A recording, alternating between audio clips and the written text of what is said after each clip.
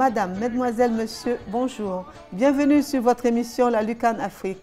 Nous recevons pour vous aujourd'hui Monsieur Alan Adoté, artiste musicien, et Monsieur Mackenzie William, euh, sud-africain, spécialiste euh, de l'Afrique du Sud et professeur dans une école de cinéma à Trappes. Bonjour Monsieur Adoté. Bonjour. Alors, euh, vous êtes artiste musicien africain vivant en France. Mhm. Vous avez votre propre orchestre. Vous avez fait plusieurs spectacles. Et je crois qu'à ce moment, vous préparez un événement. Et est-ce que vous pouvez nous parler de cet événement et un peu de votre carrière? Merci de me, de me recevoir. Euh, je prépare un événement assez intéressant. C'est un hommage à James Brown. Euh, on a un petit peu anticipé parce qu'en fait, il y a le film sur la vie de James Brown qui va, qui va sortir euh, dans quelques mois. Et c'est un hommage qu'on lui rend euh, à travers un show qui passe le 13 mars à l'Olympia. Et avec mon orchestre, bien sûr. C'est un show, c'est pas, pas un concert, c'est un show qu'on va faire, hein, l'hommage de James Brown. Et à côté de ça, c'est vrai que bon, j'ai aussi des projets euh, avec mon groupe où, où je fais de la chanson africaine, je fais de la variété, je compose, je fais de la musique en groupe. Voilà. D'accord. Je sais que, comme vous l'avez dit, vous êtes euh, leader d'un groupe. Mhm. Et je sais aussi que vous avez des, un mélange d'artistes plus, de plusieurs nationalités. Mhm. Et du coup, ça vous permet de, de chanter un peu euh, et en bambara et en anglais. Et euh, j'interviens pour dire que le bambara, c'est une langue euh, africaine qui est Mhm. parlée dans plusieurs pays de la sous-région. Mhm. Et est-ce que vous arrivez à faire passer un message à- euh, dans vos chansons? Non, euh, dans le projet, oui, dans le projet, en fait, dans, les titres que je compose, où je chante en bambara et en djula, il y a beaucoup de messages, effectivement, mais bon, pour le moment, je n'ai pas encore, l'album n'est pas encore sorti. C'est un album que j'ai j'ai composé, en fait, que j'ai commencé depuis 7-8 ans maintenant. Et chaque titre de l'album, effectivement, c'est un message pour la, la jeunesse et pour les gens. C'est euh, question de réflexion. Par exemple, j'ai des chansons qui parlent de, des personnes âgées. Parce que j'ai aussi des chansons qui s'appellent, en l'occurrence, Chekoroba, qui est un titre que j'ai composé. Il y a Wari. Wari, ça veut dire en Djula et en Bambara, c'est l'argent. Euh, enfin bon, chaque titre, c'est un message en fait. C'est un message euh, personnel euh, que je fais passer pour, pour une certaine réflexion ben voilà, sur la vie, la société dans laquelle on vit aujourd'hui. Donc euh, c'est assez personnel. Voilà. Mais vous faites en ce moment plusieurs de- spectacles privés. Est-ce que ça veut dire que ça marche pour vous? Les spectacles privés, oui, ça marche. Disons, ça marche pour moi. euh, J'arrive à vivre de, de mon, de mon métier, oui. Ce qui est un peu. euh, On est obligé de passer par. euh, En tant que musicien, en tant qu'artiste, on est obligé de passer par, tout, par plusieurs phases, en fait, parce que euh, les spectacles privés euh, font partie. Euh, les concerts publics font partie. C'est une carrière, c'est comme ça que ça se passe. Alors, concert euh, hommage à James Brown. Oui. Et pourquoi? Le concert hommage à James Brown, d'abord, c'est une idée que. c'est une idée un peu qu'on a eue un soir autour d'un petit punch, un verre de petit punch après un concert. Et en regardant sur Internet, euh, parce qu'une fois j'avais fait un hommage à James Brown euh, dans une émission de Patrick Sébastien. Patrick Sébastien, je crois que c'est sur TF1 ou Antenne 2, je ne sais plus. Bref, où je chantais, j'étais invité, donc où je chantais euh, du James Brown, mais euh, habillé en James Brown, euh, voilà, tête de James Brown. Et donc, euh, j'avais fait cette émission il y a 10-15 ans. Et tout récemment, autour d'un petit punch, après un concert, on, a, on, en se baladant sur Internet, on a revu cette vidéo et mes amis m'ont dit, tiens, ce sera bien de faire un hommage à James Brown, puisque personne n'a pensé à le faire au niveau, en tout cas, cinéma et tout ça. Et ce sera bien de faire un hommage à James Brown. Et en cherchant bien, on s'est rendu compte qu'il y avait un film en préparation sur la vie de James Brown. Je pense qu'il va faire un carton, je pense, j'en suis d'ailleurs très sûr. Et qui est produit par Mike Jagger des Rolling Stones. Et donc, euh, on s'est dit pourquoi pas? Pourquoi pas faire ce hommage à James Brown? Et on a commencé à travailler depuis huit mois environ sur ce projet. Et, on démarre là le 25, 25 euh, janvier à Pléneuf Valandré en Bretagne, euh, au Casino Partouche.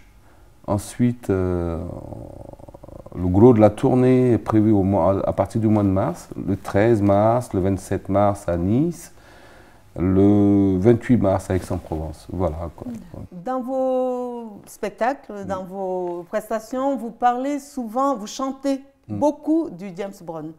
Du coup, et ça nous ramène dans des années, dans les belles années. Euh, de James Brown, où on l'a connu, mm. où même ceux qui ne l'ont pas connu se retrouvent quand même parce que c'est une, musique qui emporte, mm. qui, donne envie de danser. Mm. Est-ce que quelque part, vous avez été inspiré par ce grand monsieur et pour euh, devenir ce que vous êtes aujourd'hui? Alors, mon cas est assez particulier. D'abord, euh, je ne sais pas, j'ai d'abord adoré, aimé, euh, comme tout le monde. J'aime beaucoup euh, James Brown. Mais à côté de ça, c'est vrai que j'ai aussi ma culture, j'ai ma racine et tout ça. Mais été, euh, comme beaucoup de gens, influencé par James Brown. Et puis, à force de faire du James Brown, de chanter du James Brown tantôt par-ci, par-là, fait, les gens j'ai pris certaines attitudes de James Brown, en l'occurrence son look euh, et tout ça. Donc, euh, ça m'a un petit peu collé à la peau. Et, mais ce n'est pas une mauvaise chose non plus. Merci beaucoup à vous, Alan. Je vous retrouve euh, tout à l'heure pour partager un repas et vous allez nous expliquer un peu plus en profondeur votre carrière et vos aspirations. Ça marche, merci. merci. Je reçois maintenant pour vous mon deuxième invité, Monsieur William Mackenzie. Monsieur William Mackenzie est professeur dans une école de cinéma à Trappes. Il est né en Rhodésie. Il réside maintenant en France et il est sud-africain. Bonjour, Monsieur William. Bonjour, Madame Adoté. Monsieur William, c'est bon tout ça.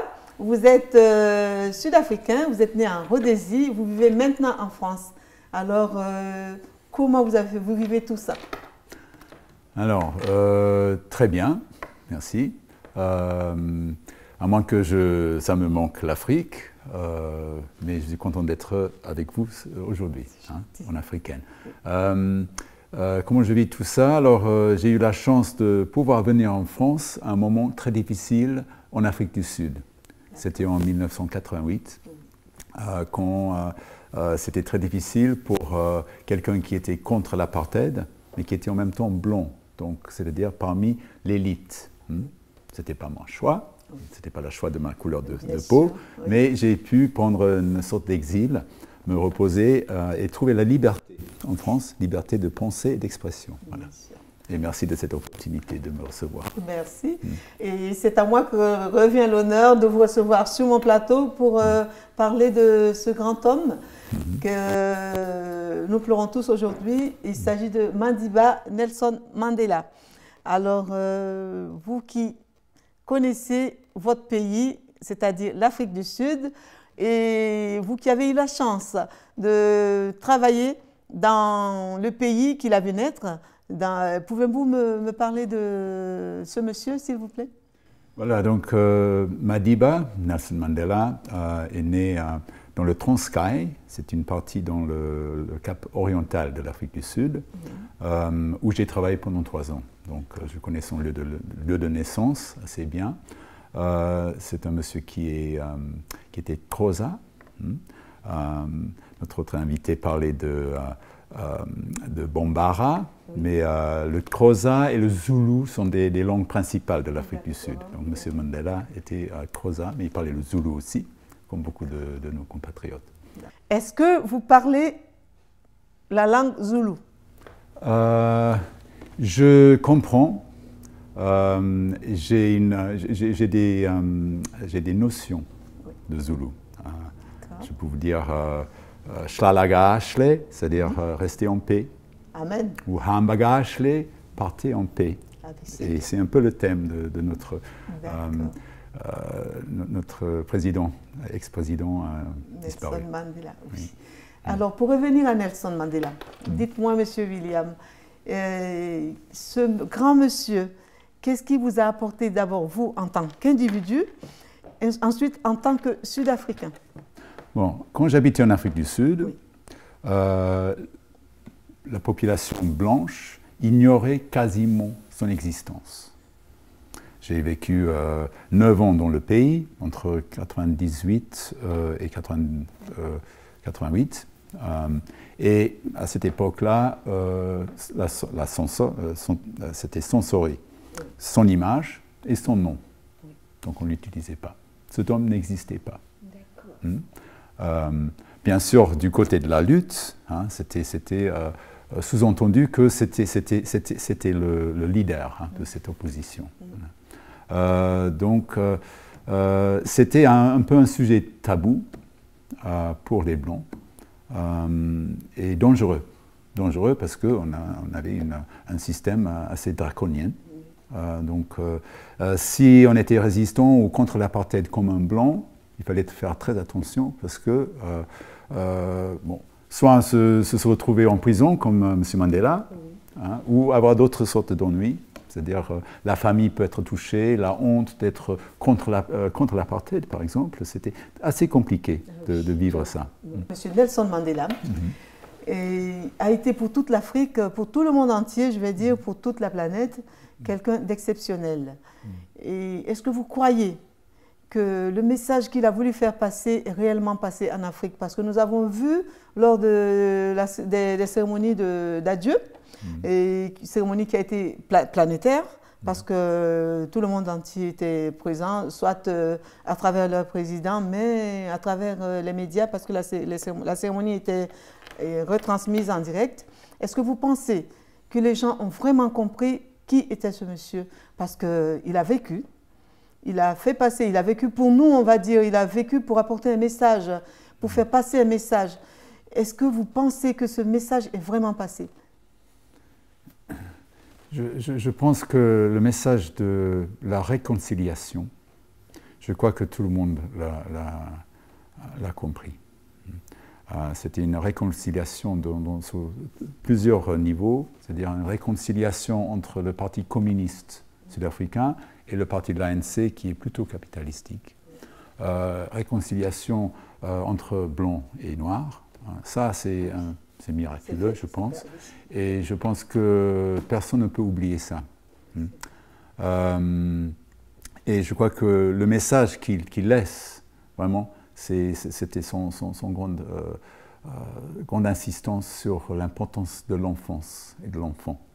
N'oublions pas que ce sont des enfants qui ont commencé la révolution en 1976 euh, avec les émeutes de Soweto, où ils ont refusé d'apprendre la fécondé, refusé d'aller à l'école sous ce système. Et c'est des enfants qui ont commencé à vraiment prendre le bâton que Nelson il a laissé quand il était emprisonné. Voilà. Donc euh, je crois que le message, c'est un message d'espoir hein, au niveau planétaire, à mon avis. Alors, euh, en venant ici en France, est-ce que vous avez retrouvé cette liberté et cette paix que vous cherchez? Oui, oui, oui, oui. En, France, euh, moi, j'adore en France la liberté de l'art de la conversation comme la conversation peut passer sur n'importe quel sujet euh, très facilement. Euh, et ma culture euh, anglophone plutôt, ou, qui est beaucoup plus cadrée, on ne change pas de sujet comme ci, comme cela. Alors en France, je me trouve bien accueilli et très à l'aise, merci. Je suis heureuse de savoir qu'en Afrique du Sud aussi, il ne faut pas prendre la parole n'importe comment ou à n'importe quel moment. Est-ce que dans vos cours, à travers vos cours à l'école de cinéma, est-ce que vous, il vous arrive de parler de votre pays ou de, de discuter de, ce que vous avez vécu, même étant en France, de, ce que vous avez vécu avant d'arriver en France? Est-ce qu'il vous arrive d'en parler avec euh, vos, élèves? Euh, Il faut dire que euh, j'ai une point d'attaque un peu différente. je préfère d'attendre la curiosité ah, de, mes, étudiants, qu'ils euh, du coup, des fois, quand j'ai des nouveaux, euh, nouveaux, étudiants en première année, dont j'ai 220 cette année, euh, j'attends que quelqu'un me demande Mais monsieur, vous n'avez pas un accent américain ou anglais? C'est vrai que vous avez un accent particulier. Voilà, donc, donc j'ai un accent. J'ai le même accent que Leonardo DiCaprio euh, essaye de faire euh, dans Blood Diamond. Euh, c'est un grand film contre les, diamants de sang, qui est un accent rhodésien, sud-africain rhodésien. Voilà. Donc, voilà, donc je, préfère parce que je trouve que parmi la jeunesse en France, l'Afrique est un peu oubliée. Il y a une fascination pour la culture asiatique indienne. Euh, L'Afrique, euh, donc je ne dis pas que je suis africain. Et euh, j'essaie de, soulever par curiosité. alors, qu'est-ce que c'est cette, cette curiosité d'anglophone, qui n'est pas australien, qui n'est pas néo-zélandais, mais qui est ah, africain Tiens. Et puis de là, on, a des suites qui sont intéressantes, trouve. Alors, vous avez parlé tout à l'heure de, de la Rhodésie, et je sais que vous êtes né en Rhodésie.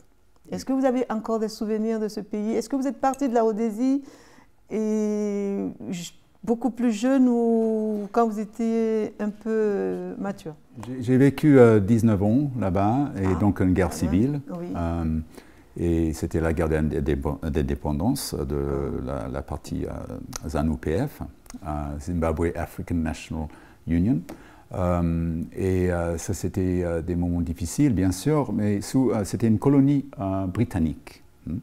Hein. mais ce qui m'a frappé quand j'étais petit, hein, j'allais en Afrique du Sud, j'étais frappé par un autre système. Comme, comme jeune enfant, cette séparation des blancs et des noirs, qu'on n'avait pas ailleurs en Afrique sous colonie français, belge. Mm. portugais. Mm. Euh, ce que je trouvais en Afrique du Sud, comme petit, ça m'a vraiment marqué. Il y avait un, moment quand j'avais 4 ans peut-être à Durban, Afrique du Sud, on visitait ma grand-mère avec ma mère. Je venais de la Rhodésie, qui avait une sorte de, séparation euh, coloniale euh, entre blancs et noirs. Mais on allait à la plage, une plage qui était que pour les blancs. mais en allant à la plage, il y avait une, une, femme zoulou qui euh, aidait ma grand-mère dans le ménage. Euh, et on montait dans un bus, mais jamais, jamais vu un bus impérial avec deux étages. Oui, deux étages. Je vois ça. Et euh, donc la, femme Zoulou, elle montait l'escalier. Et moi, je voulais monter l'escalier pour être en haut. Ben et ma mère m'a retenu. Elle dit non, non, non, William, tu ne peux pas monter là-haut. Et moi, je me dis, mais quelle chance elle a de, pouvoir monter en haut. Et les Noirs étaient sur l'étage, premier étage, et les Blancs étaient en, en premier, en rez-de-chaussée, si vous voulez. Et ça, je n'ai pas compris. Et un enfant, et il a raison, Madiba, euh, et c'est par les enfants qu'il faut travailler. Tout à fait. Parce que les enfants posent des questions que les adultes, on Bien est. Sûr. oui, Donc, euh, euh, oui, c'est une histoire complexe qu'on a, on a en Afrique australe. Alors, est-ce qu'aujourd'hui, tout cela vous a apaisé? Est-ce que vous avez retrouvé, vous avez trouvé des réponses à, à toutes ces questions? Et si oui, est-ce que vous êtes en paix avec vous-même, avec cette période de votre enfance que vous avez passée? Parce que j'ai vu que vous en parliez avec euh, beaucoup d'émotions. Est-ce qu'aujourd'hui, euh, vous êtes guéri? Non, non, je ne pense pas. Je ne pense pas. Je, pense euh, honnêtement que, que, chaque blanc sud-africain doit avoir une psychothérapie, d'une sorte ou d'une autre. Parce que ce qui nous était imposé comme tout petit, euh, c'est-à-dire que euh, certains deviennent des racistes, euh, mais on était tous des, enfants qui étaient soignés par souvent des femmes de couleurs. Des, des africaines, Oui. qu'on adorait. Oui. Et à un moment donné dans nos vies, Vous on était séparés dans l'éducation, dans des écoles que pour les blancs, par exemple, et on a eu cette séparation. Euh, et je crois que ça, euh, euh, j'aimerais bien qu'on appelle peut-être une autre fois un, un- un psychiatre, un psychologue ou un expert Oui. pour analyser d'une façon jungienne peut-être. hein. Ça viendra. Mm, voilà. Non, non, non, on est, je, je- je- je pense qu'on a encore du travail à faire à partir de cet grand esprit de du, nation arc-en-ciel Mm. que notre, notre cher Madiba a- a Vous laissé- avez- nous a laissé. oui. Mm. En tout cas, je, je Mm. souhaite euh, que vous ayez cette paix avec, avec vous-même parce que Mm. j'ai senti l'émotion Mm. dans vos yeux quand vous étiez en train de parler de cette période. C'est vrai que ce sont des périodes qui marquent énormément Mm. et je sais aussi, à travers tout ce que vous m'avez dit, que vous avez compris le message et vous avez même euh, accepté ce message euh, que Madiba a voulu faire passer. Et je sais que plusieurs euh, personnes, euh, dont des, des, des- des Sud-Africains, comprendront euh, ce message et l'appliqueront surtout. Et je vous remercie en tout cas et je vous retrouve tout à l'heure autour d'un repas que nous allons partager ensemble. C'est moi qui vous remercie.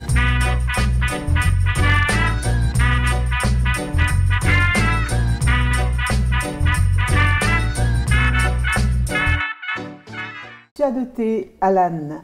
Moi, depuis le début, il y a une question qui me trotte un peu dans la tête. Je voudrais vous demander comment vous avez vécu toute euh, cette intégra- intégration? Parce que pour euh, faire euh, tous ces concerts, vous êtes en France depuis maintenant pas mal d'années pour pouvoir former votre groupe, Mhm. faire tous ces spectacles parce que je sais que vous avez un groupe qui vous est fidèle depuis des dizaines d'années Mhm.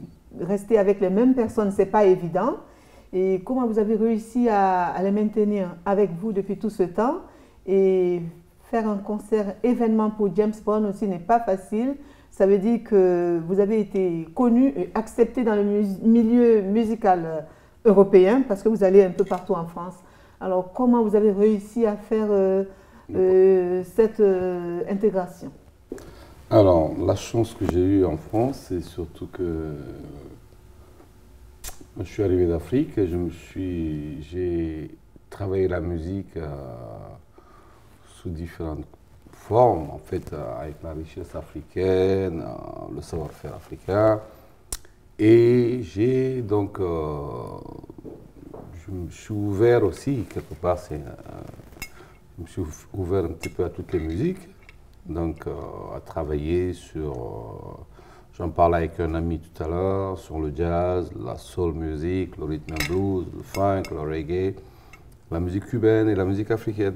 Donc c'est pas mon, la chance que j'ai eue, c'est de mélanger à un moment donné euh, le savoir-faire africain sur la musique avec euh, avec euh, la richesse aussi en Europe, la soul, la funk, le rhythm and blues, le jazz et tout ça.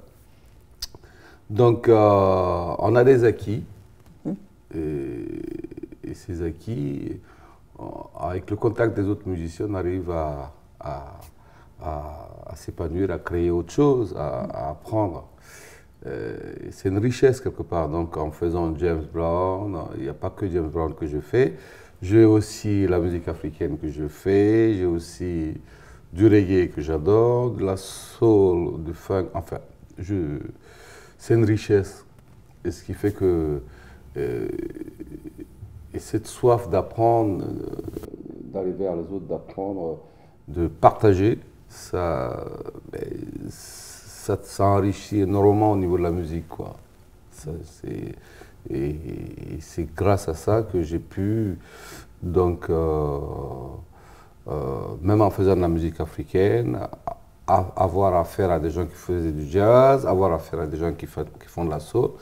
Donc c'est un tout, ça crée quelque chose euh, d'assez fort. quoi. Voilà, c'est une grande richesse. C'est ça qui m'a surtout permis de travailler avec les mêmes musiciens pendant des années, des années, des années, parce que bon, on continue à chercher, on continue à s'enrichir tous les jours un peu plus. Vous avez fait des concerts, des spectacles à travers le monde entier. Et vous avez même travaillé, vous avez chanté avec la grande Gloria Guenor. Et cette expérience vous a apporté quelque chose de positif ou pas? Bien sûr, bien sûr. C'est c'est toujours des expériences. J'ai rencontré pas mal d'autres artistes, euh, des grands chanteurs, des grands musiciens, en l'occurrence euh, les Blues Brothers, les vrais. Et qui d'autre? Billy Paul, enfin bon, il y en a beaucoup, il y en a beaucoup. Et Eddie Floyd, ça enrichit quelque part, ça enrichit. Euh, le fait de s'ouvrir musicalement aux autres, que ce soit euh, qu'on soit africain, japonais, turc, russe, euh, la musique, on l'a toujours dit, c'est ah universel. Voilà. Donc c'est un langage que tout le monde comprend sur la planète, heureusement. Monsieur William Mackenzie, en tout cas, je vous l'aurais dit, nous sommes très honorés de votre présence sur Nat7 TV parce que on a partagé ensemble euh, durant la petite causerie qu'on a eue tout à l'heure euh, de, très fortes émotions. Alors, euh, vous vivez en France depuis. Est-ce qu'aujourd'hui, vous avez envie de retourner en Afrique du Sud Je crois que ma place, ma, place, ma, vraie place, c'est en Afrique australe, en Afrique du Sud, d'où je viens. et je pourrais, en ayant appris pas mal de choses en 25 ans en France. Je crois que c'est maintenant mon devoir euh, aussi et le plaisir de retourner au pays, ramener ce que j'ai euh, comme anglophone appris euh, musicalement, autrement, hein, la culture que je peux rapporter. Parce que, et je serais très content de pouvoir faire le contraire, c'est-à-dire être basé là-bas et venir assez souvent en France. Ça serait l'idéal. En tout cas, moi, j'ai été très heureuse de vous recevoir euh, ici sur le plateau de Nat7 TV. Et ça a été un honneur. Et je vous dis que la porte, euh, nos portes vous seront toujours ouvertes. Euh, que vous soyez en Afrique du Sud ou ici en France, vous serez chez vous, chez nous.